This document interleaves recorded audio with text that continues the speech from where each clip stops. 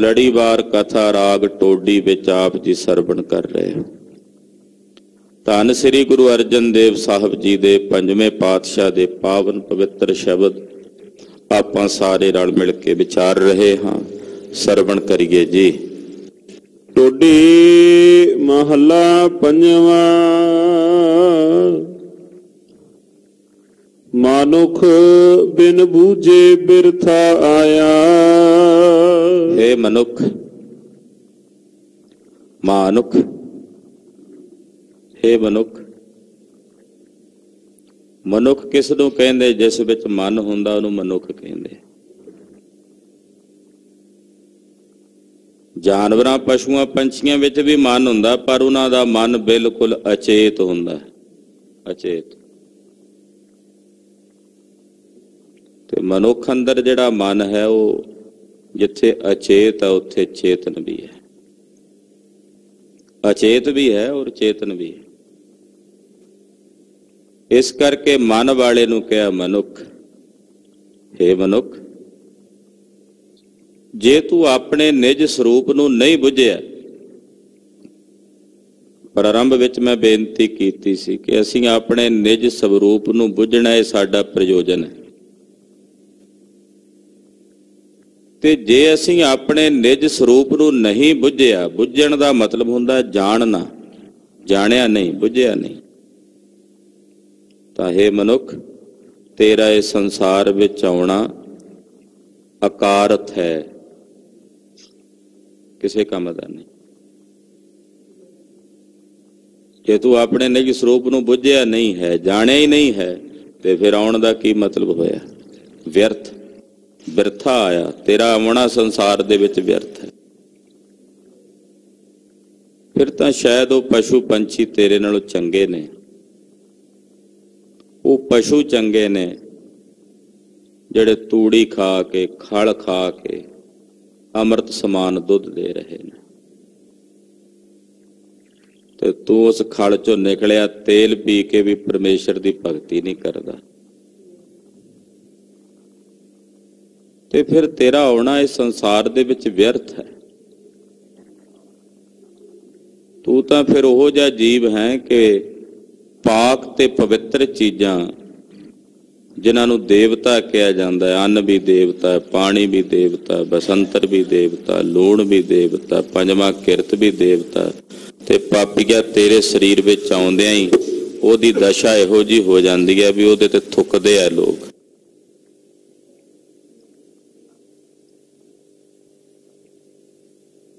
ਪਾਤਸ਼ਾਹ ਕਹਿੰਦੇ ਜੇ ਤੂੰ ਆਪਣੇ ਨਿਜ ਸਰੂਪ ਨੂੰ ਨਹੀਂ ਬੁੱਝਿਆ ਤੇ ਫਿਰ ਤੇਰਾ ਆਉਣਾ ਇਸ ਸੰਸਾਰ ਦੇ ਵਿੱਚ ਵਿਅਰਥ ਹੈ। ਅਨਕ ਸਾਜ ਸ਼ਿੰਗਾਰ ਬਹੁ ਕਰਤਾ ਜਿਉ ਮਿਰਤਕ ਉਡਾਇਆ। ਇਹ ਤਾਂ ਉਹ ਕਿ ਗੱਲ ਹੋਈ ਵੀ ਕਿਸੇ ਮ੍ਰਿਤਕ ਨੂੰ ਮੁਰਦੇ ਨੂੰ ਅਨੇਕਾਂ ਪ੍ਰਕਾਰ ਦੇ ਸਾਜ ਸ਼ਿੰਗਾਰ ਨਾਲ ਸ਼ਿੰਗਾਰਿਆ ਗਿਆ। ਉਹਦੇ ਤੇ ਕਈ ਤਰ੍ਹਾਂ ਦੇ ਕੱਪੜੇ, ਕਈ ਤਰ੍ਹਾਂ ਦੇ ਸੋਹਣੇ ਸੋਹਣੇ ਡੰਬਰ ਉਹਦੇ ਸਰੀਰ ਤੇ ਪਾਏ ਗਏ। ਪਰ ਦੱਸੋ ਭਲਾ ਉਸ ਮੁਰਦੇ ਨੂੰ ਇੰਨਾ ਕੁਝ ਸਾਜਣ ਨਾਲ ਸ਼ਿੰਗਾਰਨ ਨਾਲ ਉਹਨੂੰ ਕੀ ਲਾਭ ਹੈ ਮੁਰਦੇ ਨੂੰ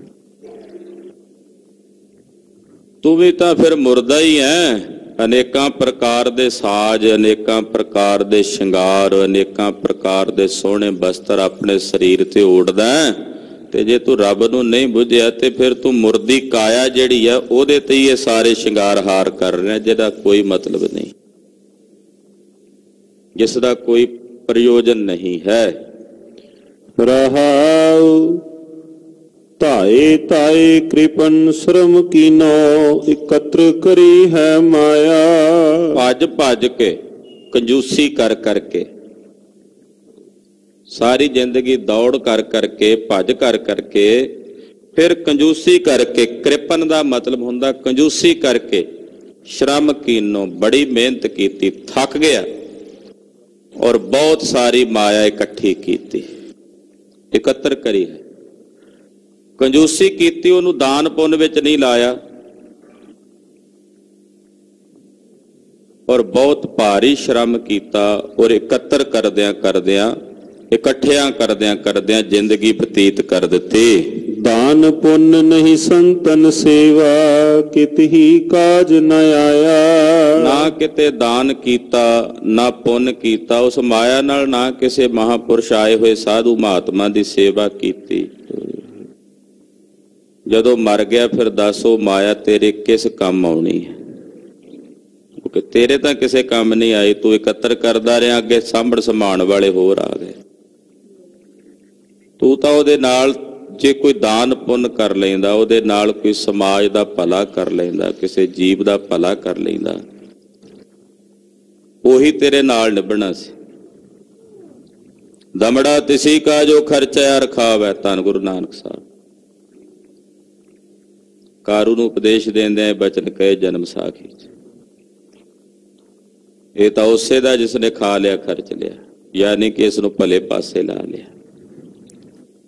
ਤੂੰ ਸਾਰੀ ਜ਼ਿੰਦਗੀ ਕੰਜੂਸੀ ਕਰ ਕਰਕੇ ਦੌੜ ਦੌੜ ਕੇ, ਭੱਜ ਭੱਜ ਕੇ ਇਸ ਨੂੰ ਇਕੱਠਿਆਂ ਕੀਤਾ। ਨਾ ਦਾਨ ਕੀਤਾ, ਨਾ ਪੁੰਨ ਕੀਤਾ, ਨਾ ਕਿਸੇ ਮਹਾਪੁਰਸ਼ ਸਾਧੂ ਦੀ ਸੇਵਾ ਕੀਤੀ, ਨਾ ਪਰਉਪਕਾਰ ਕੀਤਾ। ਆਖਰਕਾਰ ਕਿਤ ਹੀ ਕਾਜ ਨਾ ਆਇਆ, ਜੋ ਕੁਝ ਵੀ ਇਕੱਠਾ ਕੀਤਾ ਸੀ, ਉਹ ਤੇਰੇ ਕਿਸੇ ਕੰਮ ਨਹੀਂ ਆਇਆ। ਹਾਂਜੀ। ਕਰ ਆ ਭਰਨ ਸਵਾਰੀ ਸੇਜਾ, ਕਾਮਨ ਥਾਟ ਬਨਾਇਆ ਮਨੁੱਖਾ ਤੇਰੀ ਹਾਲਤ ਤਾਂ ਉਸ ਇਸਤਰੀ ਵਾਂਗੂ ਹੈ, ਜਿਹਨੇ ਸਰੀਰ ਤੇ ਬੜੇ ਗਹਿਣੇ ਪਾਏ। ਆਭਰਣ ਦਾ ਮਤਲਬ ਹੁੰਦਾ ਹੈ ਗਹਿਣੇ। ਬਹੁਤ ਸਾਰੇ ਗਹਿਣੇ ਸਰੀਰ ਤੇ ਪਾਏ, ਉਹਨੇ ਸੇਜਾ ਸਵਾਰੀ। ਸੋਹਣਾ ਪਲੰਗਾ ਚਾਦਰਾ ਵਿਛਾਇਆ, ਸੋਹਣੀ ਮਖਮਲੀ ਗੇ- ਗੱਦੇ ਵਿਛਾਏ। ਔਰ ਇੰਨੀ ਮਿਹਨਤ ਕੀਤੀ ਸੇਜ ਸਵਾਰੀ ਸਰੀਰ ਤੇ ਅਨੇਕਾਂ ਪ੍ਰਕਾਰ ਦੇ ਗਹਿਣੇ ਧਾਰਨ ਕੀਤੇ ਪਰ ਉਹ ਸਾਰਾ ਕਾਮਣ ਦਾ ਥਾਟ ਬਣਾਇਆ ਕਾਮ ਕਰੀੜਾ ਵਾਸਤੇ।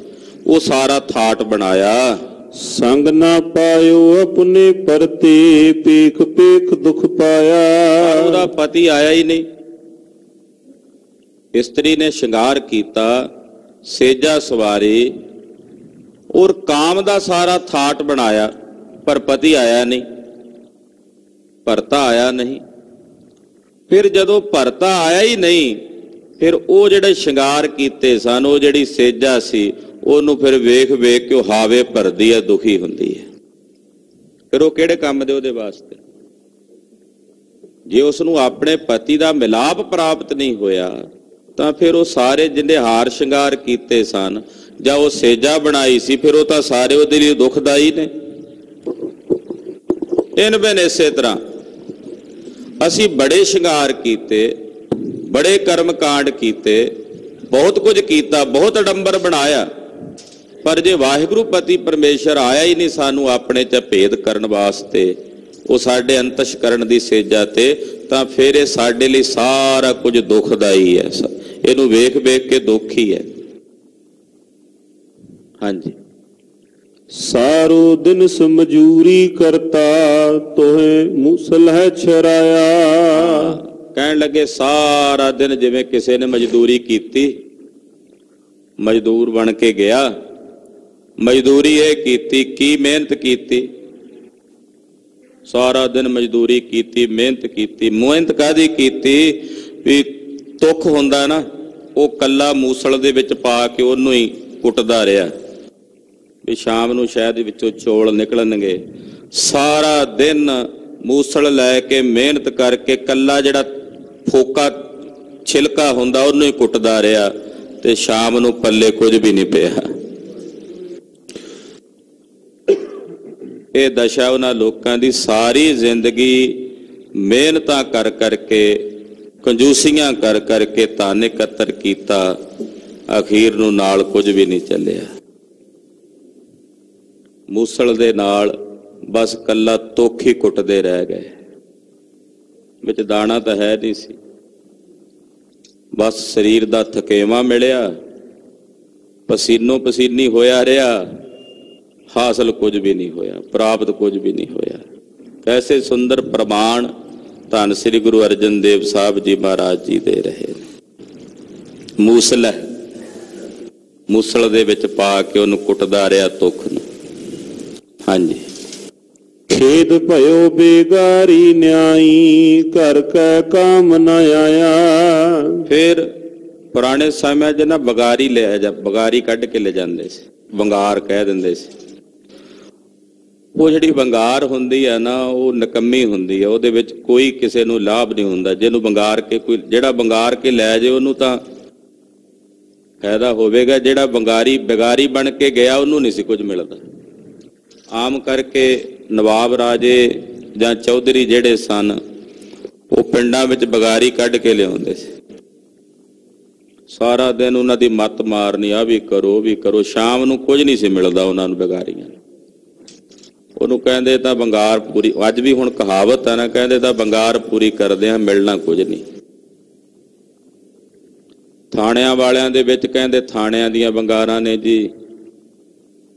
ਦੁਕਾਨਾਂ ਵਾਲੇ, ਹੋਟਲਾਂ ਵਾਲੇ ਕਹਿੰਦੇ ਜੀ ਸਾਡੇ ਕੋਲ ਥਾਣਿਆਂ ਦੀਆਂ ਬੰਗਾਰਾਂ ਨੇ, ਥਾਣਿਆਂ ਵਾਲੇ ਕਹਿੰਦੇ ਸਾਡੇ ਕੋਲ ਉੱਤੋਂ ਦੀਆਂ ਬੰਗਾਰਾਂ ਨੇ। ਉਹ ਸਾਰਾ ਸਮਾਜ ਜਿਹੜਾ ਨਾ, ਉਹ ਅੱਜ ਕੱਲ ਇਦਾਂ ਦਾ ਬਣਿਆ ਹੋਇਆ, ਤੰਦ ਨਹੀਂ ਤਾਣੀ ਵਿਗੜੀ ਹੋਈ। ਉਹਦੇ ਵਿੱਚੋਂ ਮਿਲਦਾ ਕੁਝ ਨਹੀਂ। ਹੈ ਪਾਸਾ ਵੱਟ ਕੇ ਲੰਘਣ ਦਾ ਯਤਨ ਕਰਦੇ ਆ ਲੋਕ ਵੀ ਇਹਨੇ ਵੰਗਾਰ ਹੀ ਪਾਉਣੀ ਆ, ਮੂੰਹ ਵੱਟ ਲੋ ਇਹਦੇ ਤੋਂ, ਮਿਲਣਾ ਕੁਝ ਨਹੀਂ। ਭਗਤ ਨਾਮਦੇਵ ਜੀ ਮਹਾਰਾਜ, ਇੱਕ ਦਿਨ ਮਨ ਚ ਫੁਰਨਾ ਹੋਇਆ ਵੀ ਵਾਹਿਗੁਰੂ ਜੀ ਕਿਤੇ ਘੋੜੀ ਹੋਵੇ ਨਾ। ਤੇ ਉਹਦੇ ਤੇ ਆ ਕੱਪੜੇ ਵਗਾਰਾ ਨੇ ਲੱਦ ਕੇ ਲੈ ਜਾਇਆ ਕਰਾਂ, ਨਾਲੇ ਆਉਣ ਜਾਣਾ ਵੀ ਸੌਖਾ। ਪ੍ਰਮਾਤਮਾ ਨੇ ਪਠਾਨ ਦਾ ਰੂਪ ਬਣਾਇਆ। ਉੱਥੇ ਹੀ ਆਣ ਪਹੁੰਚੇ। ਉੱਥੇ ਜਦੋਂ ਆਏ ਪਹੁੰਚੇ ਤੇ ਉਸੇ ਵੇਲੇ ਘੋੜੀ ਸੂ ਪਈ, ਬਛੇਰੀ ਦੇ ਦਿੱਤੀ ਉਹਨੇ। ਨਾਮਦੇਵ ਜੀ ਨੂੰ ਆਖਿਆ, ਆਓ ਮਹਾਰਾਜ, ਇਹ ਲੈ ਕੇ ਚੱਲੋ ਚੁੱਕ ਕੇ ਮੋਢਿਆਂ ਤੇ। ਨਾਮਦੇਵ ਜੀ ਨੂੰ ਬਗਾਰੀ ਸੱਦ ਲਿਆ, ਬਗਾਰੀ। ਭਗਤ ਨਾਮਦੇਵ ਜੀ ਨੇ ਵੇਖਿਆ ਵੀ ਉੱਥੇ ਸ਼ਬਦ ਉਚਾਰਿਆ, ਹੱਲੇ ਯਾਰਾਂ ਹੱਲੇ ਯਾਰਾਂ, ਖੁਸ਼ ਖਬਰੀ। ਉਹ ਬਗਾਰੀ ਬਣ ਕੇ ਗਏ।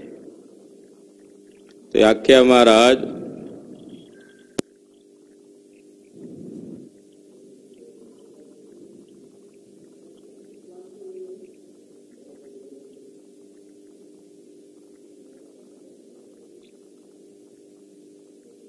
ਕਿ ਵਾਹਿਗੁਰੂ, ਮੰਗੀ ਤਾਂ ਥੱਲੇ ਵਾਸਤੇ ਸੀ, ਘੋੜੀ ਪਰ ਤੂੰ ਉੱਤੇ ਨੂੰ ਦੇ ਦਿੱਤੀ ਹੈ। ਤਲੇ ਕੋ ਮੰਗੀ, ਉੱਪਰ ਕੋ ਦੀਨੀ। ਇਹ ਗੁਰਬਾਣੀ 'ਚ ਪ੍ਰਮਾਣ ਹੁੰਦਾ। ਨਿੱਕੀ ਤੇਰੀ ਬਿਗਾਰੀ, ਬਗਾਰ। ਉਹਦੇ ਵਿੱਚੋਂ ਪਰਮੇਸ਼ਰ ਦੀ ਬਗਾਰ ਜਿਹੜੀ, ਉਹਦੇ ਵਿੱਚ ਤਾਂ ਬਹੁਤ ਕੁਝ ਮਿਲਦਾ, ਪਰ ਸੰਸਾਰੀ ਲੋਕਾਂ ਦੀ ਜੇ ਬਗਾਰ, ਉਹਨਾਂ ਵਿੱਚੋਂ ਕੁਝ ਨਹੀਂ ਲੱਭਦਾ, ਕੱਖ ਨਹੀਂ ਲੱਭਦਾ। ਸਾਰੇ ਦਿਨ ਦਾ ਥਕੇਮਾ ਜ਼ਰੂਰ ਪੈਂਦਾ ਪੱਲੇ। ਮਹਾਰਾਜ ਜੀ ਇੱਥੇ ਉਹਦਾ ਜ਼ਿਕਰ ਕਰ ਰਹੇ ਨੇ ਵੀ ਸਾਰਾ ਦਿਨ ਬਗਾਰੀ ਬਣ ਕੇ ਖੇਦ ਸਹਾਰਿਆ ਸਰੀਰ ਤੇ। ਖੇਦ ਭਇਓ, ਬੇਗਾਰੀ ਨਿਆਈ। ਘਰ ਕੈ ਕਾਮ ਨਾ ਆਇਆ, ਪਾਣੀ ਲਾਇਆ, ਕਿਸੇ ਦੇ ਖੇਤ ਵਿੱਚ ਹਲ ਵਾਏ, ਕਿਸੇ ਦੇ ਖੇਤ ਵਿੱਚ ਉਹ ਜਿਹੜਾ ਕਿਸੇ ਦੇ ਖੇਤ ਵਿੱਚ ਤੂੰ ਪਾਣੀ ਲਾ ਕੇ ਆਇਆ ਕਿਸੇ ਦੇ ਖੇਤ ਵਿੱਚ ਹਲ ਵਾਹ ਕੇ ਆਇਆ ਕਿਸੇ ਦੇ ਖੇਤ ਦੀ ਫਸਲ ਕੱਟ ਕੇ ਆਇਆ ਕਿਸੇ ਦੇ ਖੇਤ ਦੀ ਬਗਾਰੀ ਕੱਢ ਕੇ ਆਇਆ ਉਹ ਤੇਰੇ ਆਪਣੇ ਘਰ ਦੇ ਵਿੱਚ ਤਾਂ ਨਹੀਂ ਕੰਮ ਆਉਣਾ ਨਾ ਉਹ ਸਾਰਾ ਕੁਝ। ਉਹ ਤਾਂ ਉਹਦਾ ਹੋਇਆ ਜਿਹਦੇ ਕੰਮ ਕਰਕੇ ਆਇਆ। ਇਸੇ ਤਰ੍ਹਾਂ ਹੈ ਮਨੁੱਖ, ਹੈ ਜੀਵ, ਜੋ ਤੂੰ ਕਰ ਰਿਹਾ ਬਗਾਰ ਹੀ ਕੱਢ ਰਿਹਾ ਮਾਇਆ ਦੀ। ਇਹ ਜਿਹੜੀ ਸੰਸਾਰੀ ਮਾਇਆ ਹੈ ਉਹ ਤੇਰੇ ਆਪਣੇ ਕੰਮ ਘਰ ਦੇ ਵਿੱਚ ਜਿਹੜਾ ਤੇਰਾ ਨਿਜ ਘਰ ਹੈ, ਆਪਣਾ ਨਿਜ ਸਵਰੂਪ ਹੈ, ਉਹਦੇ ਕੰਮ ਨਹੀਂ ਆਉਣਾ ਇਹ ਸਭ ਕੁਝ। ਇਹ ਤਾਂ ਤੂੰ ਲੋਕਾਂ ਵਾਸਤੇ ਇਕੱਠਾ ਕਰ ਰਿਹਾ, ਧਨ ਇਕੱਠਾ ਕਰ ਲਿਆ, ਉਹ ਮੰਨ ਲਓ ਤੇਰੇ ਨਾਲ ਤਾਂ ਨਹੀਂ ਚੱਲਿਆ ਉਹ। ਉਹ ਤਾਂ ਦੂਸਰਿਆਂ ਵਾਸਤੇ ਇਕੱਤਰ ਕਰਕੇ ਤੂੰ ਟੁਰ ਪਿਆ। ਸਗੋਂ ਤਾਂ ਲੜਾਈ ਦੇ ਵੱਡੇ ਵੱਡੇ ਮਹਾਤਮਾ ਵੀ ਕਿੰਨਾ ਕੁਝ ਇਕੱਠਾ ਕਰ ਜਾਂਦੇ ਆ, ਬਾਅਦ ਵਿੱਚ ਉਹਨਾਂ ਦੇ ਡੇਰਿਆਂ ਤੇ ਵੀ ਲੜਾਈਆਂ ਹੁੰਦੀਆਂ। ਅਗਲਿਆਂ ਵਾਸਤੇ ਉਹ ਲੜਾਈ ਦਾ ਕਾਰਨ ਬਣ ਜਾਂਦੇ। ਪਰ ਉਹਨਾਂ ਆਪਣੇ ਨਾਲ ਤਾਂ ਨਹੀਂ ਨਾ ਕੁਝ ਗਿਆ। ਤੇਰੇ ਨਿਜ ਘਰ ਦੇ ਵਿੱਚ ਤੂੰ ਜੋ ਲੈ ਕੇ ਜਾਣਾ ਸੀ, ਉਹ ਕੁਝ ਵੀ ਤੂੰ ਇਕੱਤਰ ਨਹੀਂ ਕੀਤਾ। ਸਾਰੀ ਜ਼ਿੰਦਗੀ ਬਗਾਨਾ ਕੰਮ ਹੀ ਕਰਦਾ ਰਿਹਾ, ਆਪਣੇ ਲਈ ਕੱਖ ਨਹੀਂ ਕੀਤਾ। ਇੱਕ ਕੁਮਿਆਰ ਦਾ ਗਧਾ ਬਣ ਕੇ ਭਾਰ ਢੋਂਦਾ ਰਿਹਾ।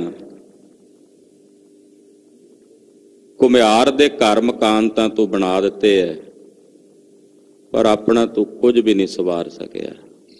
ਬਸ ਵਹਿੰਗੀ ਢੋਈ ਐ, ਪੱਲੇ ਕੁਝ ਵੀ ਨਹੀਂ ਪਿਆ, ਪ੍ਰਾਪਤ ਕੁਝ ਵੀ ਨਹੀਂ ਹੋਇਆ। ਆਪਣੇ ਲਈ ਕੁਝ ਨਹੀਂ ਕੀਤਾ।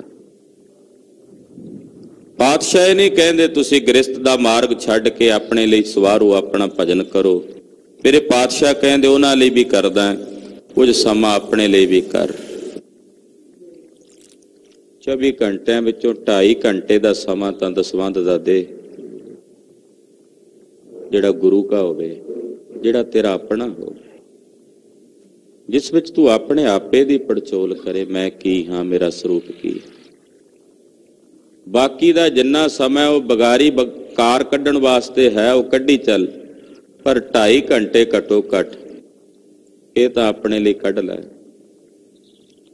ਸਾਡੇ ਕੋਲ ਲੋਕਾਂ ਲਈ ਬਹੁਤ ਸਮਾਂ ਦੁਨੀਆ ਲਈ ਬਹੁਤ ਸਮਾਂ ਪਰ ਆਪਣੇ ਲਈ ਸਾਡੇ ਕੋਲ ਕੋਈ ਸਮਾਂ ਨਹੀਂ।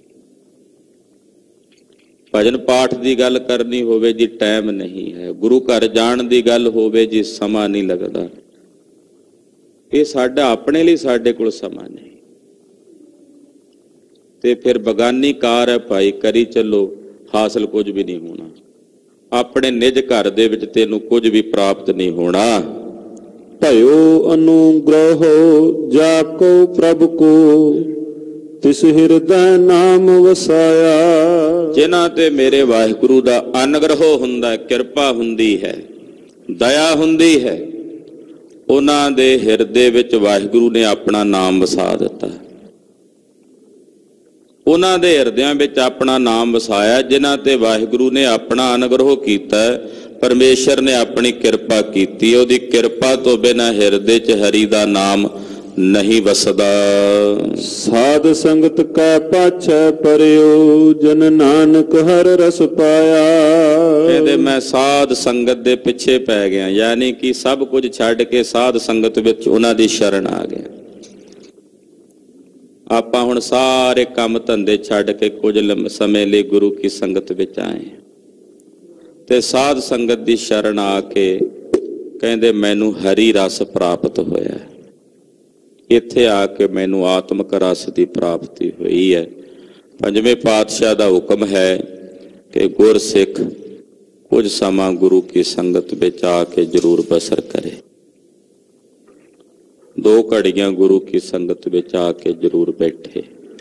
ਮਹਾਰਾਜ ਜੀ ਦੀ ਗੁਰਬਾਣੀ ਦਾ ਕੀਰਤਨ ਸੁਣੇ, ਗੁਰਬਾਣੀ ਦੀ ਕਥਾ ਸੁਣੇ।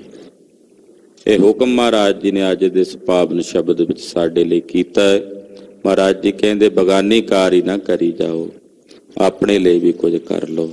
ਸਤਿਗੁਰੂ ਜੀ ਕਿਰਪਾ ਕਰਨ। ਉੱਥੇ ਭਗਤ ਜੀ ਨੇ ਕਿਹਾ ਵੀ ਲੋਕਾਂ ਨੂੰ ਆਪੋ ਆਪਣੀ ਪਈ ਹੈ ਮੈਨੂੰ ਆਪਣੀ ਪਈ। ਕਹਿੰਦੇ, ਸਭ ਨੂੰ ਆਪੋ ਆਪਣੀ, ਮੈਨੂੰ ਆਪਣੀ ਪਈ। ਆਪਣੀ ਪਈ ਦਾ ਮਤਲਬ ਵੀ ਮੈਂ ਕੁਝ ਆਪਣਾ ਆਪ ਵੀ ਸਵਾਰਨਾ। ਯਾਨੀ ਕਿ ਕੁਝ ਸਮਾਂ ਗੁਰੂ ਕੀ ਸੰਗਤ ਵਿੱਚ ਗੁਰਬਾਣੀ ਪੜ੍ਹਦੇ ਆਂ।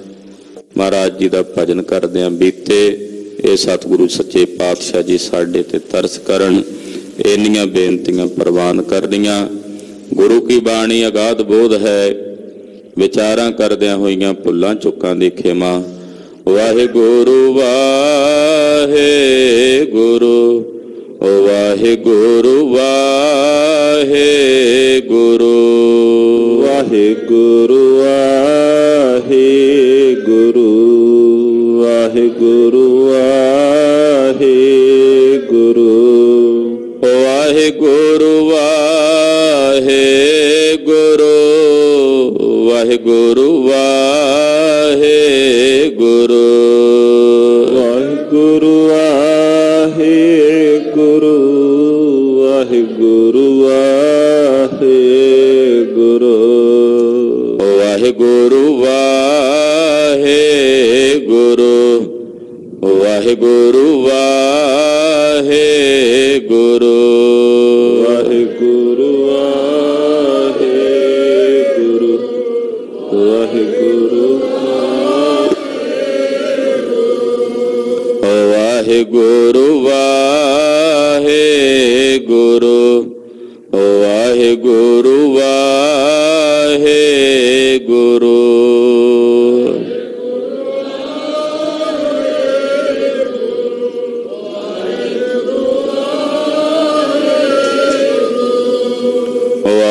ਵਾਹਿਗੁਰੂ ਜੀ ਕਾ ਖਾਲਸਾ ਵਾਹਿਗੁਰੂ ਜੀ ਕੀ ਫਤਿਹ।